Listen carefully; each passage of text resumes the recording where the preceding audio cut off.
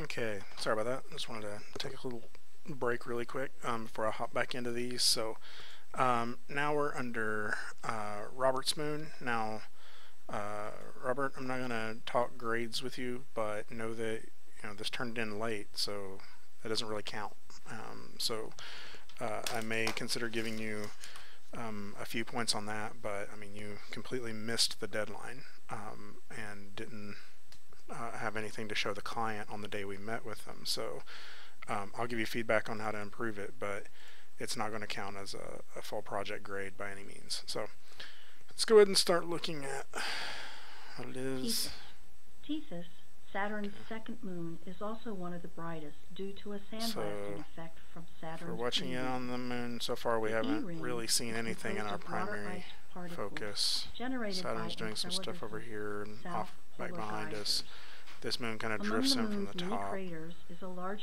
and it's just kind of a slow push in on the moon. It formed when the surface of Tethys froze faster than um, the. I also don't hear really any editing at all on the uh, it is 100 on the um, audio. Uh, you still have mispron mispronunciations and mistakes in there, uh, so definitely need some editing on the audio. At this point, we fill up almost the entire view above us with um, with this, and so and there's a quick pan around it. So what we discovered in the dome the other night is this makes people nauseous. Like this is like you get motion sick from watching this. 100 and so if you want to see that, it kind of feels like this long, all making the time. it one right? of the most notable features um, of the moon. And so my first comments are, my, my, biggest comments are that there's not really that much animation on it. We have one camera push, and then we have the, uh, is composed of water ice we have the moon sinking down into it, which is was probably just a basic blend shape on Among the moon's on this mesh. Is a large trench known so this isn't really giving us very much information. Um, formed when the surface of This is way too big. We're way close in there causing the surface um, to dip. So this is actually it back behind us. And of course that camera jump and more than 2,000 kilometers long, um, making it one of the most notable features of the moon. Probably would really make us dizzy in there as well with all the stars swimming that quickly. Um, so first thing, the, the, main thing, test it out in the viewer to see if you're actually seeing what you mean the to see. Like, um, the second thing is generated by Enceladus you kind of have like one geysers long shot Among the moon's many um, that doesn't really give us very much information except for part of the ground fell in.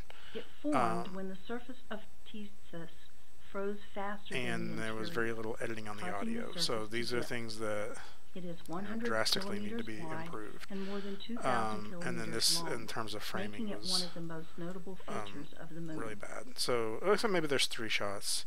Um, the last shot being probably the best one that we, we kind of get a, a shot of the moon in relation to uh, in relation to its planet. So, um, so let's go ahead and open up the next one.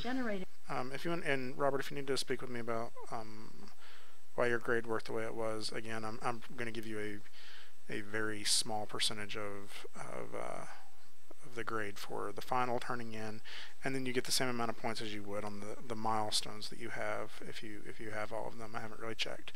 Um, and so the milestones are um, essentially worth 10 points each, I believe. Um, I'll have to double check on the the assignment, but they, you know, if you have all three of them, you know, then that's a, a maximum of 30 points uh, for that. But um, will you I, I, just can't give anywhere near full credit for something that just didn't meet the deadline. So, um, Herschel, let's see. Um, I'm going to play yours, Herschel, with uh, without the audio because this one didn't have audio on it. Um, I let's see if I can remember what's going on with this.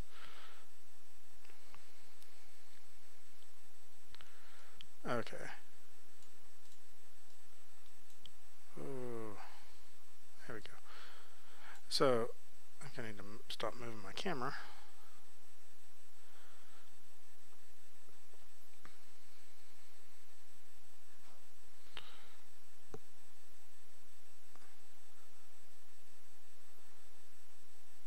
Okay.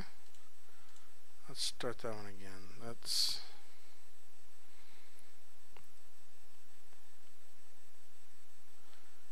playing kind of strange play.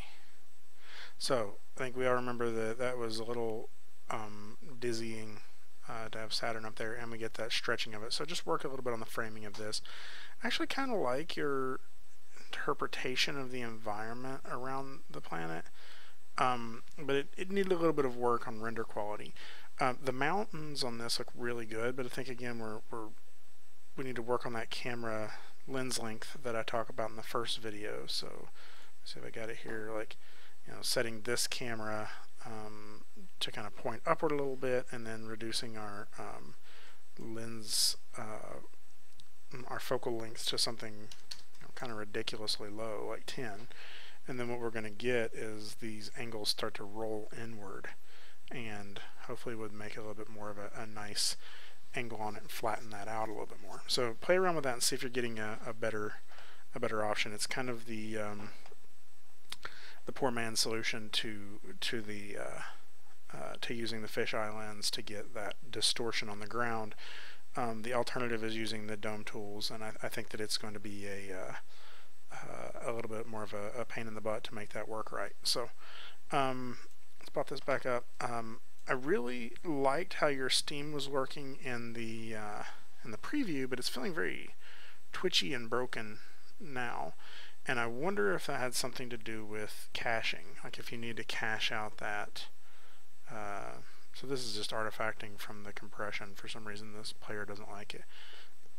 Um, so again, this is way big and I can get that more down in here where we can see the uh, the actual objects maybe that being um, the the moon and then being Saturn over here or something like something where it just feels a little bit more uh, you know realistic or not realistic but like not uh, this all-encompassing like giant thing um, next thing I noticed, like, yeah, again, the last thing I think the way you want this to kind of try to wrap around the dome is like probably something like this, right? We get a little bit more going off to the side, maybe get this crevice going down the middle, and then um, you know maybe even opening up a little bit more toward us, and then these the steam kind of like through here and and over here you get this you know this steam like it's I think that this is more the shape you're going for um, than this giant like thing that reaches up toward the center because it, then it just feels like we're like climbing up a mountain not sort of going along the surface and I think the steam feels like it's not being cached or something because what happens is it like gets really flickery as it goes up and that makes me think that it was trying to simulate it as it was rendering um, so I don't know what you're using um, to get that, I believe you're probably using fluids, right? Fluid effect. So you'll just create a new cache for your fluids and that and store that in your project that you upload to the network for the, the render farm. And so it should pull the simulation from that cache instead of trying to do it real time. And I, I think that that's the flickering you're getting. It, like, I'd be interested to see is that like how it was looking to you in the preview, or um, um, or if that was uh, uh, an issue you were getting uh, separately from that. Um, hold on one second.